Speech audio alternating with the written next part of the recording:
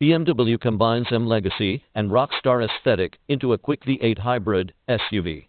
BMW couldn't mark the 50th anniversary of its high-performance M division with any concept vehicle. Instead, the German automaker tapped into a rockstar aesthetic that would make David Lee Roth proud with a plug-in hybrid concept that merges V8 power with next-level M design. The rear end of the concept, which has cat-like LED lights, a BMW logo milled into the glass, and an M-Quad exhaust, is unlike any other vehicle in the automaker's line. But then the next step is they would like to have even more expressive luxury in the cars, Franciscus van Meel, chairman of the board of BMW M, said during an unveiling of the vehicle.